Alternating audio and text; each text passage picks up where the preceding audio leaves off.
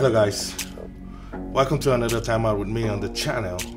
My name is Alec Godwin if you meet me for the first time and today we are going to Mars. Ladies and gentlemen, Sirui has just taken us to Mars.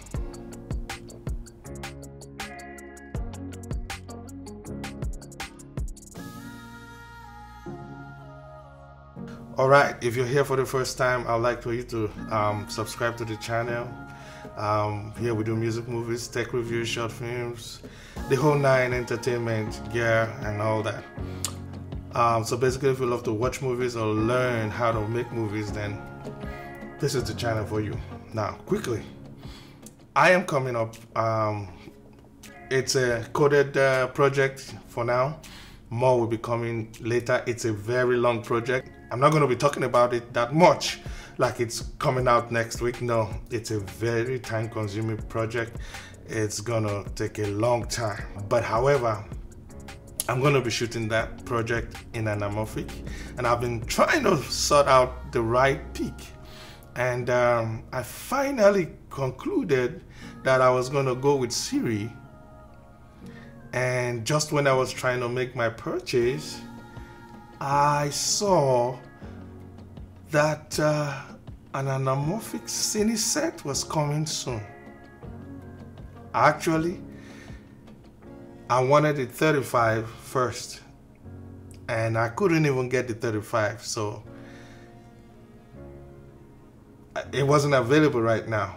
And so I'm thinking like, should I wait for those?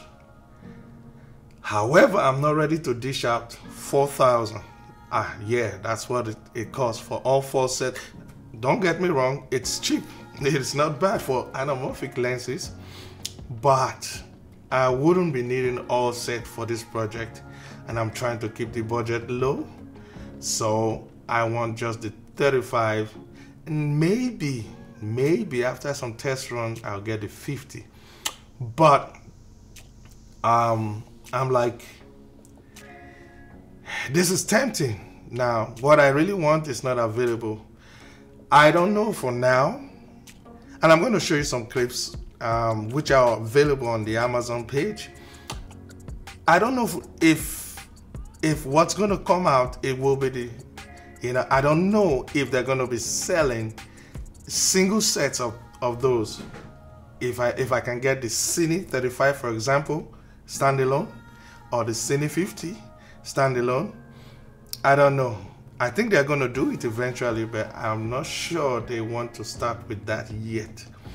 Uh, so four grand for the set of four anamorphic lenses, that's not a bad deal, really. I can't complain for that if I was going all out for it.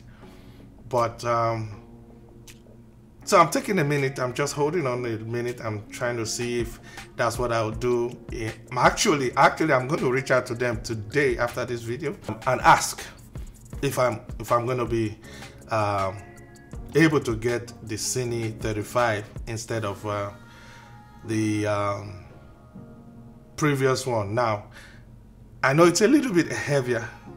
I think I think uh, I don't know how much heavier. So uh, those will be the factors though, but I, um, it would be lovely to have the Cine with one with the gears and probably they even have some improvement on it. That's what I expect, you know. I mean, every flaw, any flaws that was um, reported on the previous one will probably be fixed. So that's my, that's my thought, you know.